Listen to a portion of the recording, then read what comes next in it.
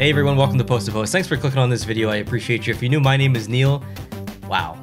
Like just I am I'm in shock almost.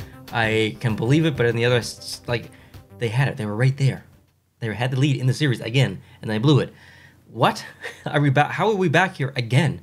Like seriously, this is a never-ending story. I feel like making a 30-minute video about it like in the off season about what Toronto can do. Like that's that's what I feel like I should do.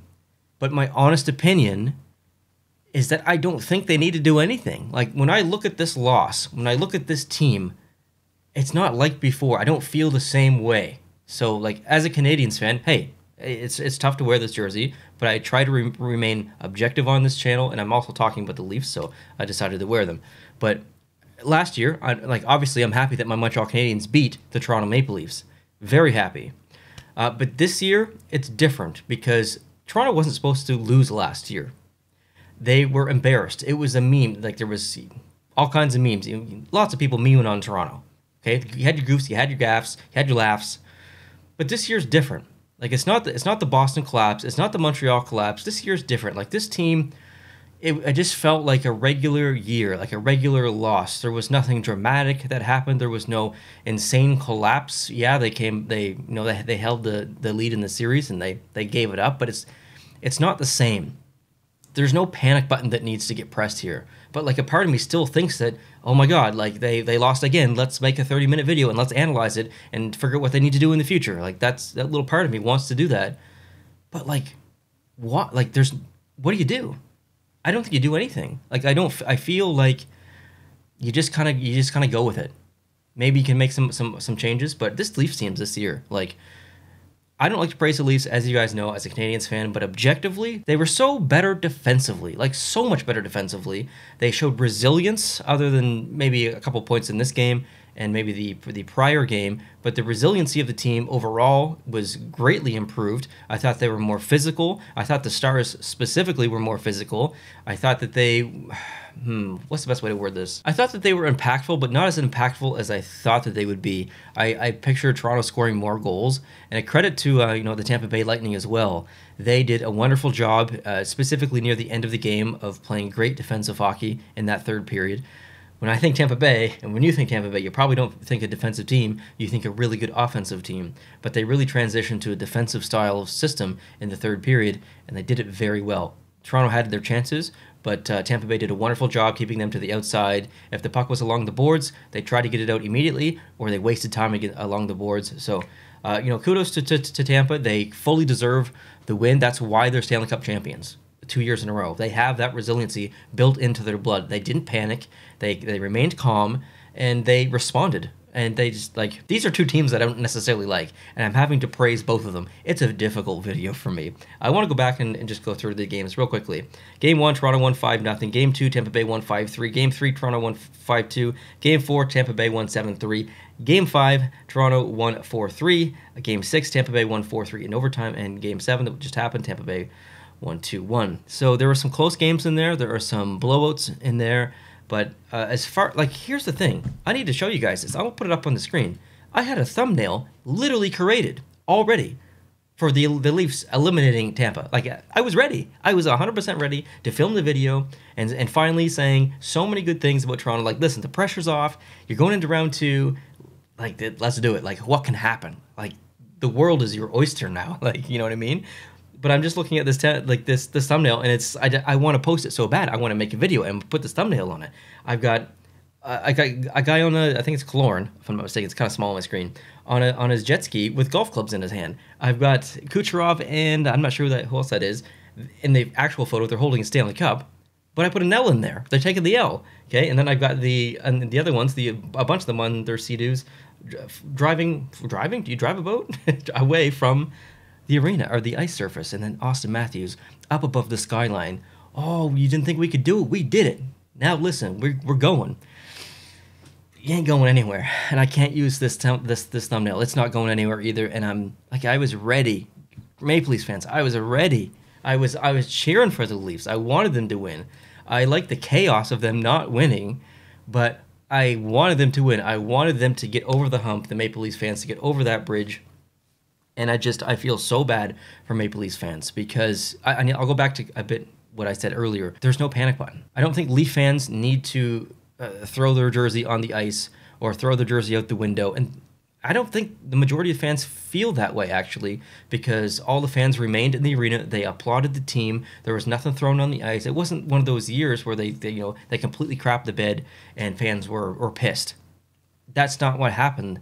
Uh, they they remained extremely respectful, and I think a smart Maple Leafs fan would see this team objectively and think let's not hit the panic button. This is a good group, a good core. It was a wonderful year. You took the remaining the the the, the Stanley Cup champions the last two years to to game seven and almost like almost defeated them.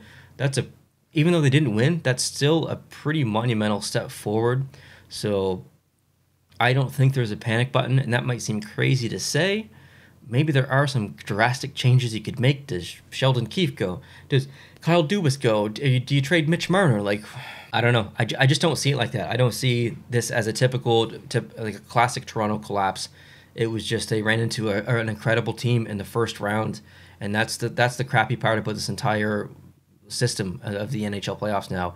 In round one, so many good teams go home, and this was the perfect example of it. I got a couple notes I want to go through. I thought the refereeing was extremely inconsistent the entire series. There were games where they were calling everything by the book, and then other games where they weren't calling anything like where's the where's the um sorry where's the standard where where's the bar how do players know what's going to get called and what's not going to get called if you if you're constantly moving the bar and, and changing the standard so frustrating uh, regardless if you're a Leafs fan or a Tampa Bay Lightning fan frustrating I saw a lot of uh, penalties that should have been called on Tampa tonight I saw a lot of penalties on Toronto that should have been called tonight and they weren't and I just like man, I just it's just so frustrating. Just as a hockey fan, remove the teams. Just the refing in general uh, has been really frustrating. But I don't blame the loss on the refs. I think that's an irresponsible thing to say because that's the easy thing to say. I think you you have to look at the team and say, we, number one, we just weren't good enough. Well, we can't blame the refs. Yeah, things might have gone might have gone diff- a little bit differently if uh, something had been called. But at the end of the day, we couldn't get it done and and that's that. I mean, that I mean that's that. You couldn't get it done. So I, I don't blame the refs. I'm just I'm just frustrated. I'm just frustrated, and it's every year, regardless of, of what series. That you can pick a handful of series every single playoffs, and it's ex- the exact same. So I just want consistency. Like that's all I want. I just want consistency from NHL refs. That's it. If you're gonna call everything, call everything. If you're not gonna call anything, don't call anything. Don't do this. I can't take that. Okay, I don't like the emotional roller coaster of it. I want consistency. I want to know what I'm going to expect. Rent. Okay, uh, Brodie on the second goal. I want to talk about that. So I think it was Paul that was coming in, and uh, this this is just highly frustrated me. If I'm a Leafs fan and I look at that, I'm thinking, Brodie, what are you doing? Take the body. You're, you're puck watching. You're looking at the puck in his feet and you're trying to get it. Take the body. If he takes the body, that's not a goal and so I'm, I was really like I don't know why I'm cheering so I like I'm so upset that, that Toronto lost here, but it's so easy. Like take the body. That's you learn that in Pee Wee. Okay, top puck watching. Take the body. That's not a goal. Simple as that. Factual. Uh, I thought Jack Campbell was was amazing most of the series. Couple of stinkers in some of the games, but I don't blame Jack Campbell. Uh, Vasilevskiy, same thing, amazing. Specifically in last two games, Vasilevskiy was stellar, unbelievable. Uh, like I think I said this early, Toronto defensive game. Sorry, I just got some notes. The defensive game from Toronto was drastically improved this year. Uh, resilience of Tampa Bay, I did uh, mention that. Uh, Brayden Point get injured, so kudos to Brayden Point for coming out uh, after the injury and giving it a try, and kudos to to the, to the depth players of Tampa Bay uh, through in every line, whether it's Perry or whether it's uh, Point. Like I said, just coming out and trying to to do what he can and with through an injury. The the depth, the resilience, the the calmness of the team of the Tampa Bay Lightning team, knowing that they're down in a series or potentially down in a game, and know that they have the ability to come back almost at will. Like there's, I, I don't like Tampa, as you guys know, but I have to appreciate, you know, call a spade a spade. They're amazing. Tampa Bay is amazing and, in basically every aspect of the ice. So I'm incredibly impressed by that team for the third year. I want them to lose. Sorry, Tampa Bay Lightning fans. I want them to lose. I think the majority of people do because the majority of people, number one, like to cheer for the underdog in the series, and number two, don't like repeat cup winners. They want to see something new. So a lot of people are cheering against the Tampa Bay Lightning. Um, and but I think their fans probably like that at the same time. They they like being at the top of the hill. You know, that's that's a that's a nice place to be. But I, even though I want them to lose, I respect them so much, and I respect every player on the Tampa Bay Lightning. I respect the the staff, like the entire coaching staff. Uh, I respect the the management in general. Um, and yeah, I mean, they, the Tampa Bay Lightning have has some great fans as well. Toronto Maple Leafs have some great fans. There's some upset fans tonight. There's some happy fans tonight. Crazy, just a crazy series. I don't think I've missed anything on my list. Uh, just you know, I just kind of I clicked record. I made a couple of notes. I just wasn't planned. I'm just rambling. There's a game on right now, up up to the left. It's the Edmonton Oilers. It's the LA Kings. I'm gonna go watch this game seven to see who wins. What a weekend! One game seven done. Second game seven done. Third one underway. Two more tomorrow. Wow, what a great start to the NHL playoffs. I hope you guys are enjoying it. If you are and you want to talk more hockey with me, hit the subscribe button down below if you're new. I'm releasing videos every single day on the channel. As you longtime viewers know, that's my thing here. I release a video every single day the entire year. I've been doing it for going on year six, I think, year six.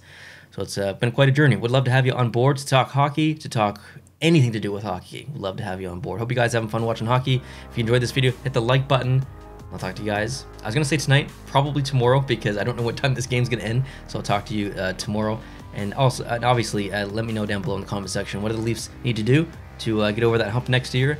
In Tampa Bay, you're running into the Florida Panthers for an epic rematch. How's that going to go? Let me know. All right. Have a great night, guys. Enjoy hockey. Adios.